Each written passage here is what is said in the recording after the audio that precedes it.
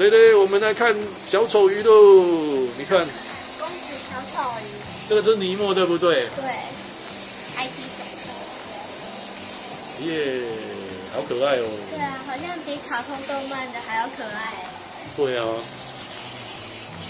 然后他们会传这样子对，游来游去有没有？对。哟，这是海葵，然后还有奶嘴，奶嘴在这里。对，听说它会那个，它那个奶嘴上的那个美妆很可爱。多利，多利，多利，多利，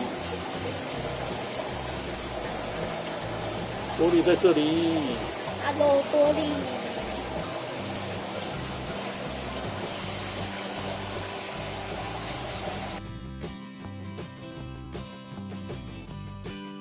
这是我们养的小丑鱼，很可爱吧？它们有的姿势很可爱。喵喵喵喵喵喵。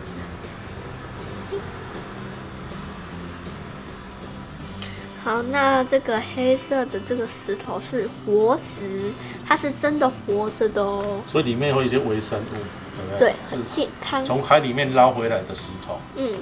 然后呢，其实小丑鱼不是说养就养，它其实是盐水鱼，所以它的对海水要注意盐分，对，要控制一下。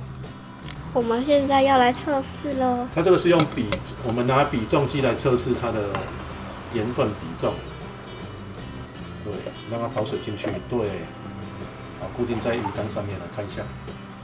出来了，他在看。那我们这个刻度要在蓝色这边。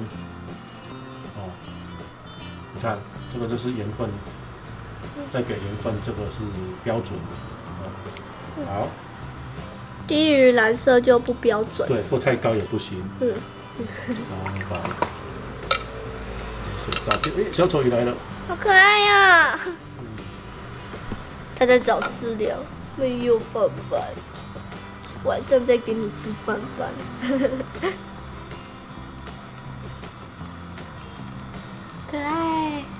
然后那个绿色的一球一球长得很像葡萄的，叫做葡萄藻，它可以过滤水池。对，它让改善水质，让水把一些鱼的一些排泄物转化成好的物质。还有那个红色一根一根的那个是红树林。